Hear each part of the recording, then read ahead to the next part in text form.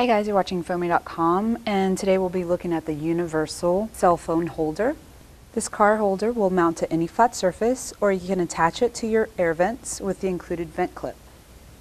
This car holder is universal, but you do want to use it for smaller cell phones because it's only about 3 inches by about 2 inches, like your Motorola's, Nokia's, Ericsson's, Nextels, Kyocera's, Audiovox's, Acer's, any of the smaller mobile phones.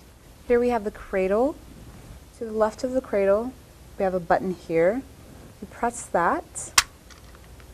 The right arm expands out. It expands from about one and a half inches to about two and a half inches, giving you ample room to insert your device. The back of the cradle here, as well as the inside of the arms, are padded, keeping your device comfortably locked into place.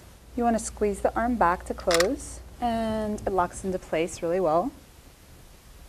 To the back of the cradle are two openings. You'll use the top to insert the included vent clips. And you want to insert the vent clips at the top and push them down and that locks into place. Or you can use the larger to mount to any flat surface. And this time you want to start at the bottom and work your way up. And that locks into place. You do want to peel back the protective 3M paper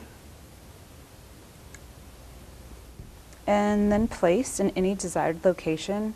When securely mounted, the cradle does rotate 180 degrees for optimal viewing. Once you've chosen the perfect angle, you can lock it into place by turning here the universal phone holder keeps your phone right where you want it, whether it be in your car or your home. Get your universal car holder today at fommy.com.